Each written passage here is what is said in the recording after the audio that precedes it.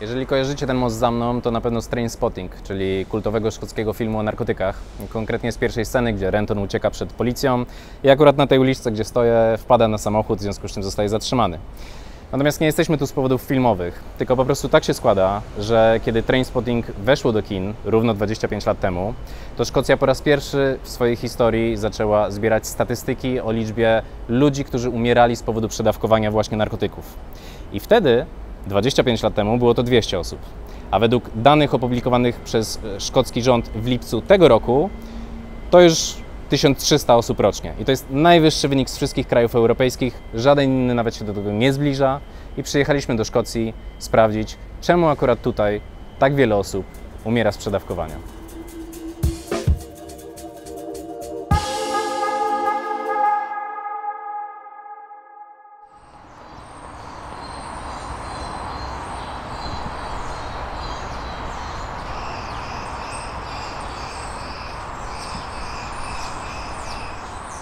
You still need and to have the services there and ready to help people who step forward for the help and, and we don't have that right now. Even in my own experience when I took drugs for the first time in over 11 years and I asked the local services here for help and support um, the first help that was available after I called up was 10 days and it was a telephone assessment you know and, and, I, and I was clear on the, the phone call that I was very close to dying Peter Craickand to założyciel pierwszej w Szkocji bezpiecznej przestrzeni konsumpcyjnej, czyli miejsca, gdzie można przyjmować narkotyki pod jego nadzorem. Urządził je w kupionej na aukcji karetce, którą parkował w centrum Glasgow, miasta z największą liczbą zgonów z przedawkowania w całym kraju. As we get into November, uh, December, January, February, people are struggling to get an injection site. People that will be injecting in their arms, maybe in the summer, um, will will move to groin injection because they can't get a vein when it's cold. Um, you know, so higher risk of uh, complications when you're injecting in your groin. Um, people are absolutely desperate for a little bit of dignity rather than you know, the, the alleyway next to Parney Street, which is covered in feces and pigeon droppings and, and a, you know, a, a breeding ground, ground for infection. Peter zna takie sytuacje z własnego doświadczenia. Przez lata zmagał się z bezdomnością i uzależnieniem. Dlatego w swojej karetce miał dla potrzebujących przygotowane sterylne zestawy do jednorazowego podania narkotyków i uniknięcia zakażenia, ale nie tylko. Szkocję w ciągu ostatnich lat zalały benzodiazepiny. Dawniej przepisywane przez miejscowych lekarzy na stany lękowe, ale teraz zabronione, więc dostępne na czarnym rynku za 50 pensów. Były znalezione w ciałach dwóch trzecich osób, które przydawkowały, bo zażywane wspólnie z heroiną prowadzą do uduszenia. Żeby odwrócić skutki, trzeba szybko podać naloxon. Peter, za jego pomocą, w ciągu paru miesięcy uratował życie sześciu osobom. I mean, it affected all areas in my life. You know, I lost my job initially, which uh, was a, you know, obviously a, my, my source of income. Um, it affected relationships with my wife and my children. Um, but looking back on uh, my own experience with with this, you know, it just got to the point where seeing all that trauma, I just couldn't cope. And I, uh, after 11 years of not taking drugs myself, I ended, ended up taking drugs again. Peter nie był w stanie dłużej zapewniać bezpiecznej przestrzeni w Glasgow, czyli mieście ogniskującym wszystkie problemy narkotykowe Szkocji. Według Krajowej Agencji Statystycznej mieszkańcy dzielnic o najgorszych wskaźnikach społecznych przedawkowują aż 18 razy częściej niż mieszkańcy tych o najlepszych wskaźnikach. A nigdzie dysproporcje nie są tak wielkie jak właśnie w Glasgow.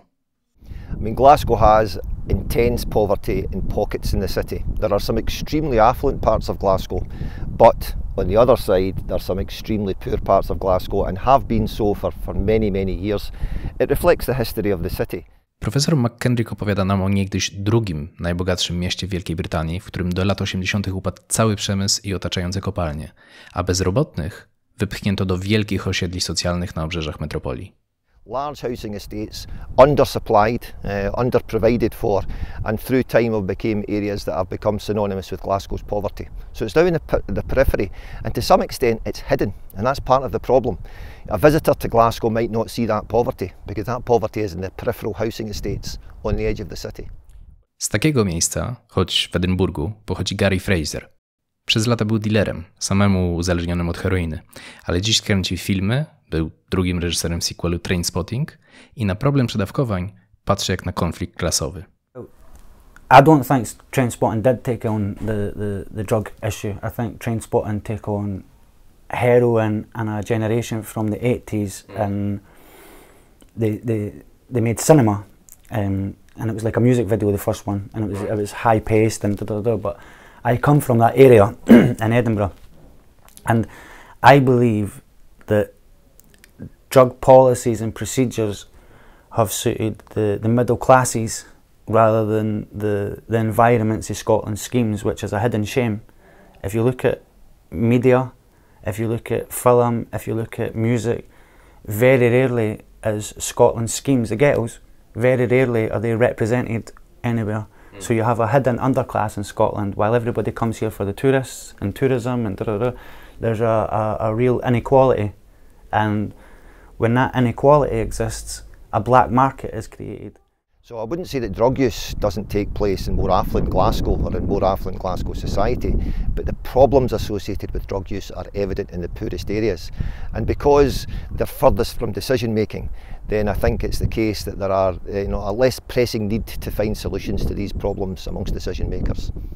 If you come and tell me your need is you need to stay on 50 milligrams of methadone, but you want mentor support and you want to attend recovery meetings, then we have to support you to do that. Like, I can't say to you, you can't come here if you're on methadone, you can't use drugs.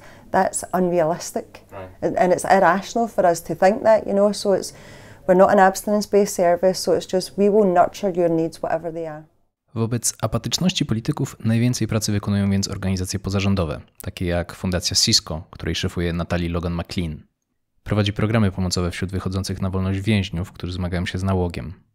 Za kratami zmarł bowiem uzależniony od heroiny ojciec kobiety, od którego przezwiska fundacja wzięła nazwę, ale narkotyki pochłonęły też innych członków jej rodziny. I've lost my brother, I lost my father, I've lost three aunts, two uncles, and two nephews now, all to drug related deaths.